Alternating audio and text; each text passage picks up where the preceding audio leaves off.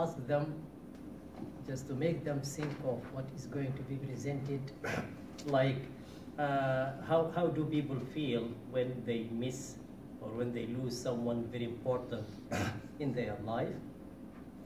So after setting the scene, I think, uh, and we are dealing with the sound, um, I as the teacher am going to ask them to close their eyes so as to focus more on one thing, that is uh, hearing.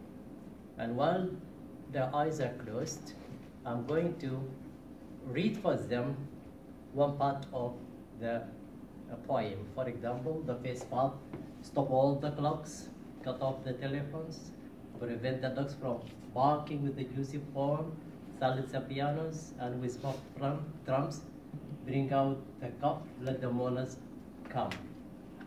Then, to check that they have understood or grasped the meaning, I can set some questions as comprehension questions.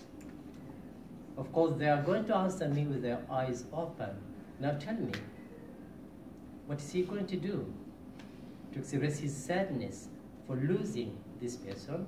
And I get the answers. Then can be other questions in another way, asking, which one do you think are possible and which one are impossible? Now, if the question is for you, which one do you think are possible to be done and which are impossible to be done? And get the answer for them. So it can be in a sort of checking comprehension. And all these things are done through one thing that is the sound or hearing. And the same activity can be repeated for all other versions of the poem. Yeah. Thank you. Who would like to go next? Ortiz is going for taste? No. Smell. Smell. Yes, and Ortiz was with Thank you. Yelena